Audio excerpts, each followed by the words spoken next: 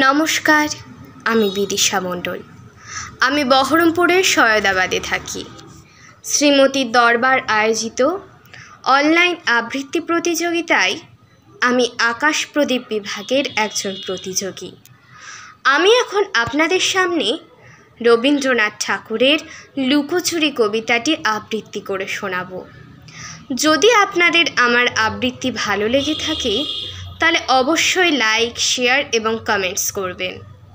নমস্কার। গুরুদেব রবীন্দ্রনাথ ঠাকুরের কবিতা, লুকোছুরি। আমি যদি দুষ্টমি করে চাঁপার গাছে চাপা হয়ে ফুটি ভোরের বেলা, মা গো, ডালের পরে কচি পাতায় করি লুটোপুটি। তবে তুমি আমার কাছে হারো। তখন কি মা? চিনতে আমায় পারো? তুমি ডাকো, খোকা, কোথায় ওরে? আমি শুধু হাসি চুপটি করে।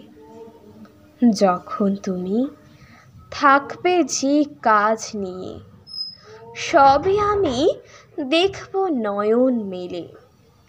স্নানটি করে চাপার তলা দিয়ে আসবে তুমি পিঠেতে চুল ফেলে। এখান দিয়ে পুজোর ঘরে যাবে। দূরের থেকে ফুলের গন্ধ পাবে। তখন তুমি বুঝতে পারবে না সে, তোমার খোকার গায়ের গন্ধ আসে। দুপুরবেলা মহাভারত হাতে? বসবে তুমি সবার খাওয়া হলে। গাছের ছায়া ঘরের জানালাতে, পড়বে এসে তোমার পিঠে কোলে। আমি আমার ছোট্ট ছায়াখানি, দোলাবো তোর বইয়ের পরে আনি।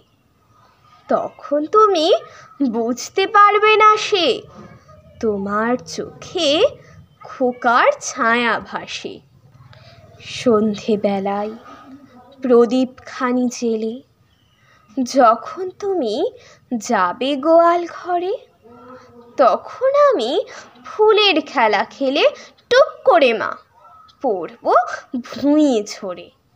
আবার আমি তোমার খোকা হব। গল্প বলো, তোমায় গিয়ে কব।